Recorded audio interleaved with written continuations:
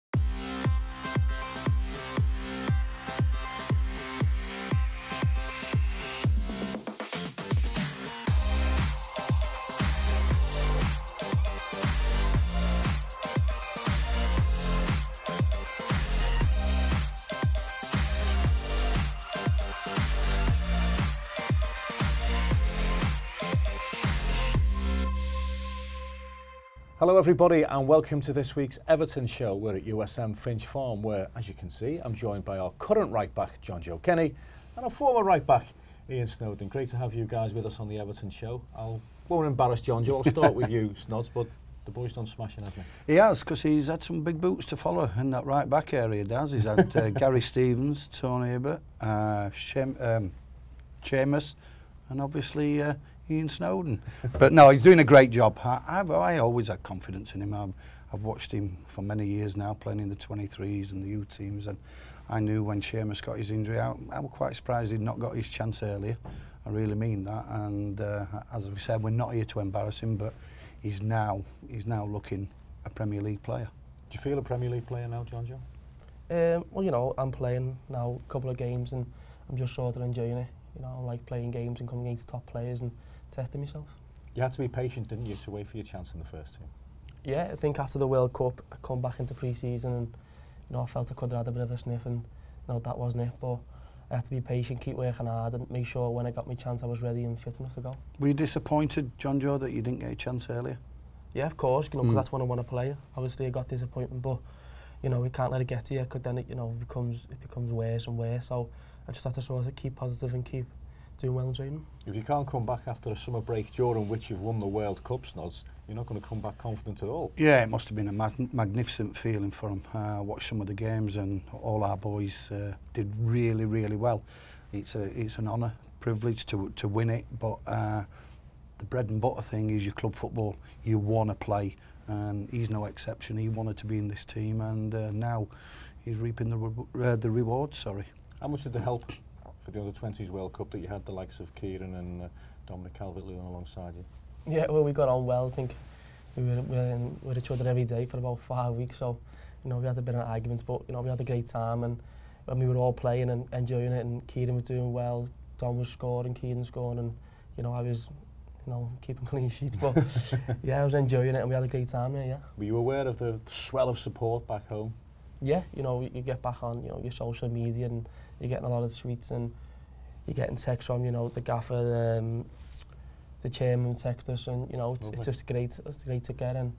you know, the lads are made up. That doesn't surprise you, does you? The chairman sending the boys a text? No, not at all. He, he'll watch the international scene as much as he'll watch Everton and uh, especially when our boys are involved in it and there's that many of them as well. And uh, now that, that's the chairman, that sums the chairman all up. John Joe, has the fact that David Unsworth knows you so well been really important for you? Yeah, well, I've been with Unzi now for about three or four years, and you know, um, we got to know each other very well. He knows my game, and I know he likes. So, you know, for him to become the manager, I've just felt a lot more relaxed, and he just let me go and be my game, and I've enjoyed playing under him. Must be massive that for a young player to know that the manager has got every faith in you and knows your game inside out. Yeah, it is. Uh, Unzi's done a terrific job with the 23s, there's no question about it. They won it last year. He was usually disappointed the last game of the season against Liverpool when there were a big crowd there, but uh, overall he's done a fantastic job. Um, the boys enjoy pl playing for him, they enjoy working with him every day.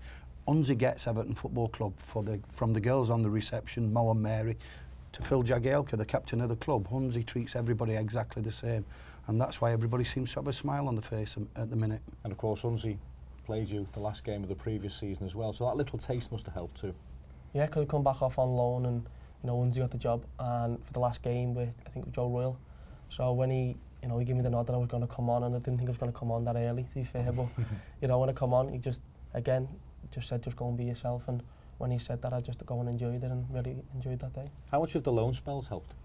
Yeah, because you become more of a man. You know, I was living in Oxford and far away from home and you got to sort of stand on your own two feet. So I think from that, I've just learned to grow up a little bit more. Does it's a massive thing for these young lads to go out on loan. The, the playing in front of paying public. yeah. Hmm. Uh, they're under pressure from the crowd if they make a mistake, and that's how you grow up quickly on a football field. It's, it's all right playing 23s and, and new team football and getting a pat on the back here and there, and the parents are there.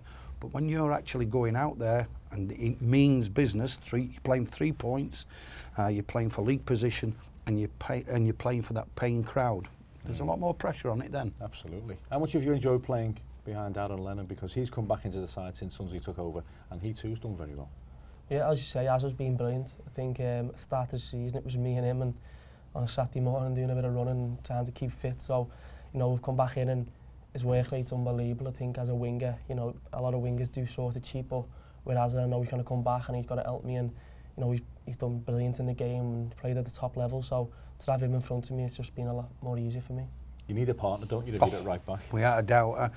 I remember when I first got to right back, I had uh, Trevor Stephen in front of me, who was unbelievable, fantastic, covering me and letting me go on overlaps. He'd fill in for me. And then when Trevor left, Pat Nevin came, who was a great attacking player but no defence minded at all. I remember playing against John Barnes with Trevor Stevens. He hardly had a kick. And then we played at Anfield and Pat Nevin were in front of me. He must have come at me first half 18 times one on one. I ended up grabbing Pat Nevin. I said, Get back here and help me, by the way. But it is, it's so important. And Aaron's that kind of player. Mm. He, will track back and, and they'll work as a pair. And it showed when he tracked Zaha back, uh, must have been 60 yards. got a magnificent round of applause from our away fans. That's just hard work and helping your teammates. And I suppose you can attack with more confidence as well, knowing that somebody's there to, to watch you back. Yeah, well, that's how it works. You know, if I go forward, I know is there for me to fill in and vice versa, really. So I like Az to go forward a bit more than me because you know, that's his, that's his game, innit? So, but yeah, as I say, as I'm 1v1 with people, I know is there to sort of help me out. Well, let's keep on track with the right back theme here on this week's Everton show. Let's hear now from Cuco Martina. He answers our questions that always begin my first.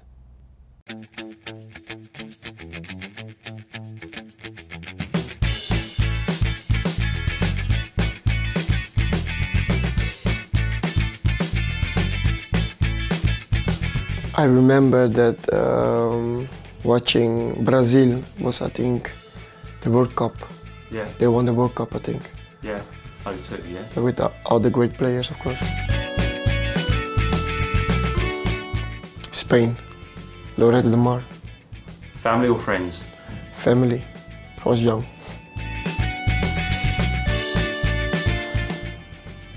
Ronaldo, the real, real Ronaldo.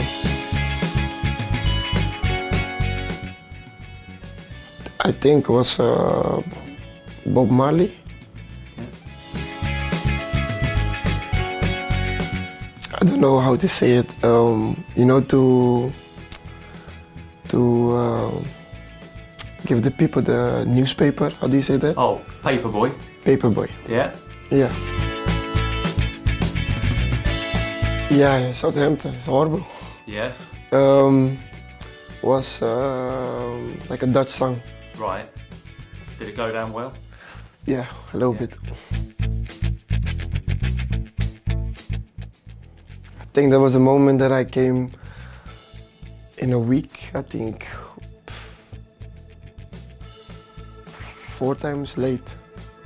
Right, at school or? Uh... No, uh, that was uh, at uh,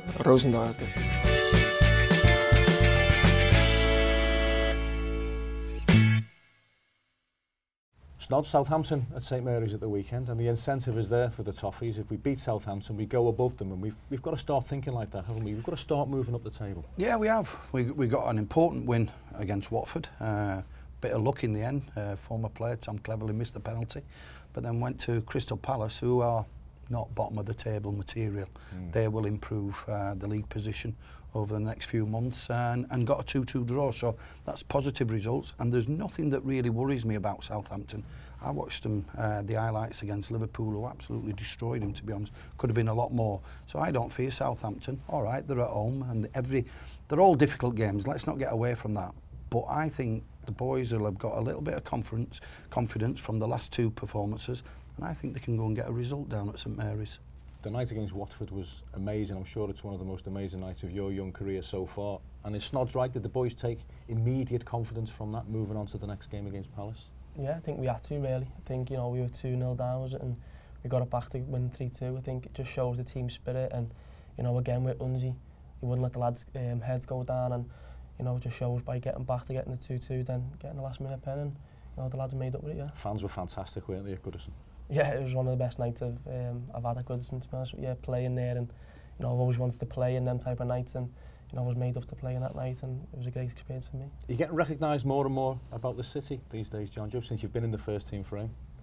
Yeah, you get the odd one or two, but I just try and stay at home a lot and just focus on the games because, you know, they're coming thick and fast and, you know, it's a Sunday, Thursday now, most days, so just need to keep fresh and prepare for the next game. And that's just about it for part one of this week's Everton show. My thanks to John Joe Kenny for joining us. In part two, Snods and I will be joined by our under 18s coach Paul Tate, and we'll also hear from Jordan Pickford.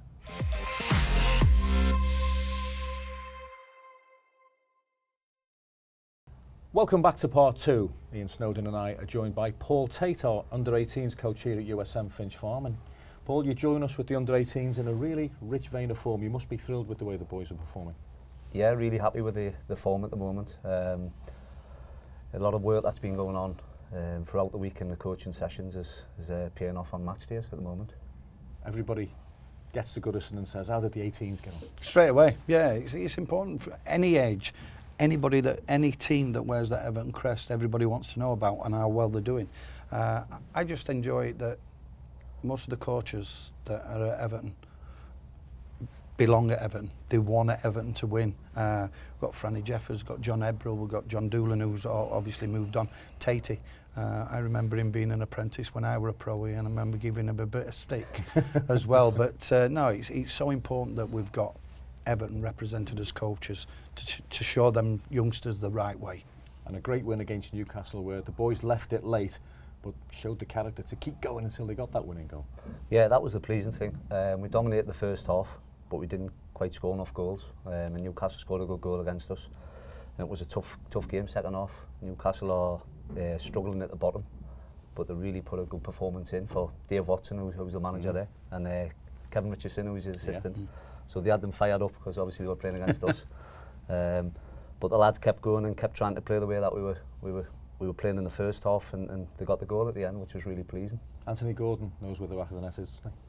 he? Yes, he does. He's he's um He's on 11 league goals this season, so he's doing really well. He plays uh, just off the front. He's, he's not a, a number nine, uh, although he can play up there because he's got pace. He can run in behind as well as come and get at the feet. Um, and he knows where the goal is, obviously it is all about development at that age, Snods, but mm. we do like to see Everton teams win, and game management and winning football matches is surely all part and parcel of that development. Yeah, it is, because in the long run, what you're striving for is to get into that first team, whether it may be starting at under 16, under 18 level, then you progress to uh, the under 23 level, and then you want to. So, yeah, it's important to know how Everton want to play.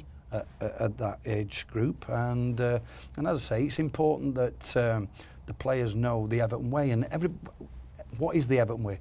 The Everton way is determination, work hard, put a shift in, and win football games. And it's as easy as that.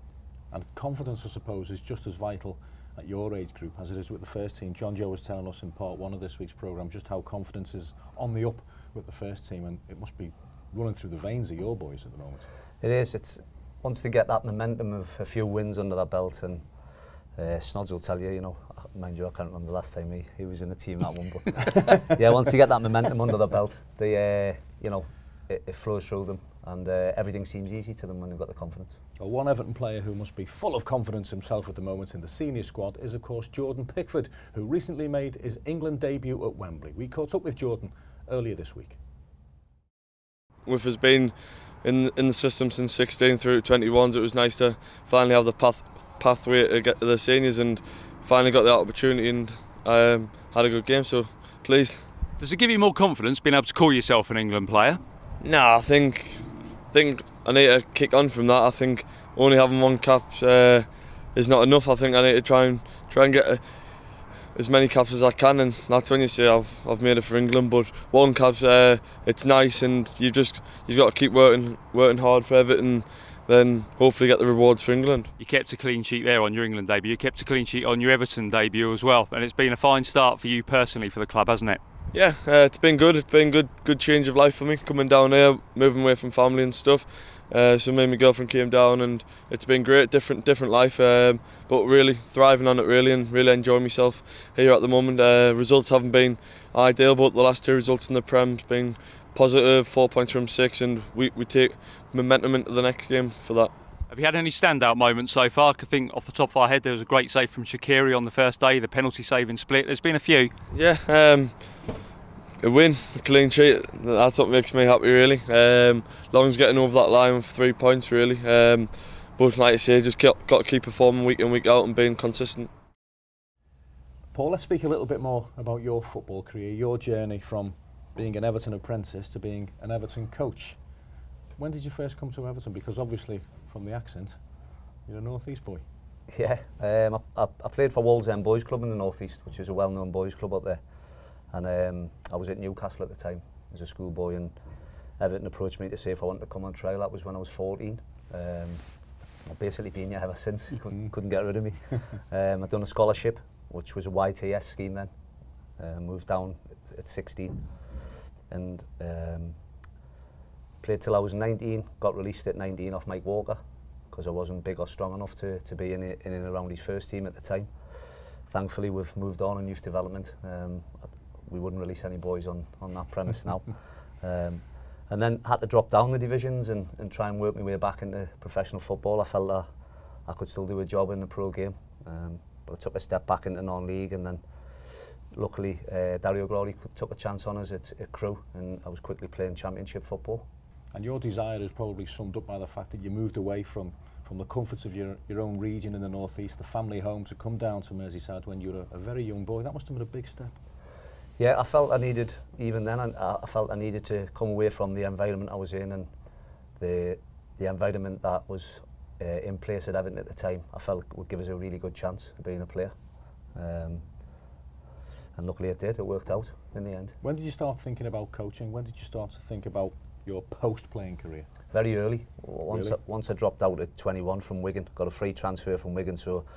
I'd had two free transfers in three years. So I'm thinking, well, you know, what am I going to do next?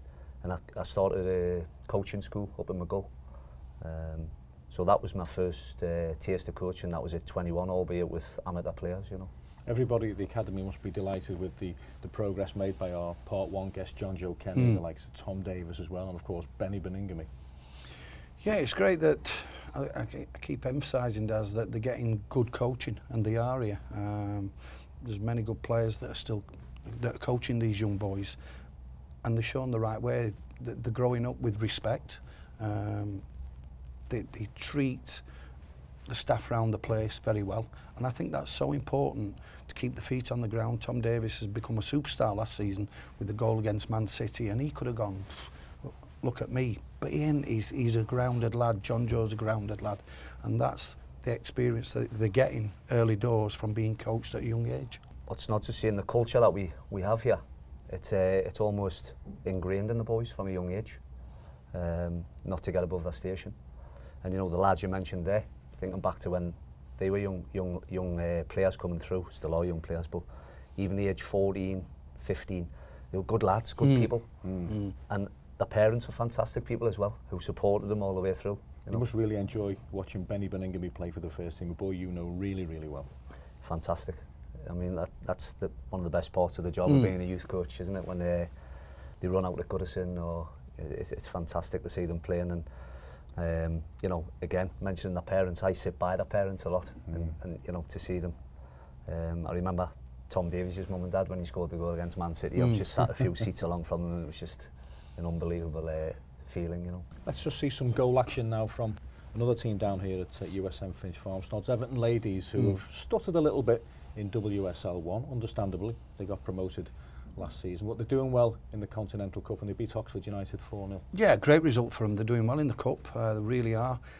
The league's been a bit difficult. As you said, they got promotion, Daz, and uh, there's some good good teams in that uh, in that top league, in the in the ladies' league. So uh, it comes back to confidence again. Yeah, it does. It? It's, throughout the club at the minute, confidence let's hope it grows it everywhere with the ladies as well. Uh, I've, I've talked to a couple of the girls at, uh, at lunch times They're so enjoying the full-time training here, mm. and they, they will get better. There's no question about it. Let's hope that the, the uh, league performances improve, the results improve, and let them take that cup football into into the league. Talking of cup football, there's a big FA Youth Cup tie at Goodison Park coming up against Ipswich Town. Looking forward to that one. Yeah, really looking forward to it. Yeah, we, uh, are starting the, the preparation now, so we use use the, the next couple of league games as preparation for the Youth Cup. Um, How much of a priority is the FA Youth Cup? I think over the years, we haven't um, taken it as a massive priority that we win it mm. because we're always looking at the next step. The job is not to produce teams at the academy, it's to produce players for the mm. first team, the hmm. lads that you've just been talking about. So mm. that's always the main focus. Um, but you try and telling them uh, under 18 lads in the youth cup that we don't want to win it. Hmm. You know, it, it's just not going to happen. So we go into the, the tournament we want to win the tournament without a shadow of a doubt. We all want to win it. Does the competition I, I, you've both played, I, not it? Yeah. I was I was at Doncaster, me, and we drew Newcastle up at Newcastle, and wow, it's great the FAU Cup. You can't wait. It's as big as the FA Cup for the first team players. You're wanting to know, and we've drawn Ipswich, and it will be at Goodison Park. So them lads will be nervous going out onto Goodison Park and playing, but it's up to him and uh, his other coaching staff to just relax them and say, look, all right, it's at Goodison Park. Let's just go out and play as normal game, go out and enjoy it, but most importantly, go out and win the game and get into the next round. How easy will that be?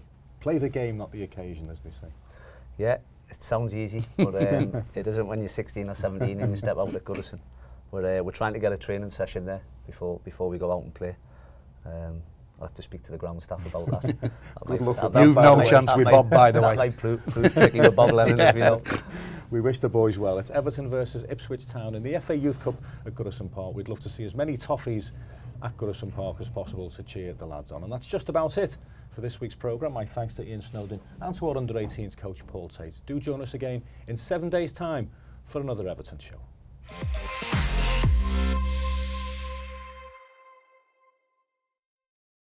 You've been watching the Everton Show on YouTube. Thank you very much indeed for joining us. I hope you've enjoyed it. I'm sure you have. Don't forget to subscribe and that way you catch every single future episode.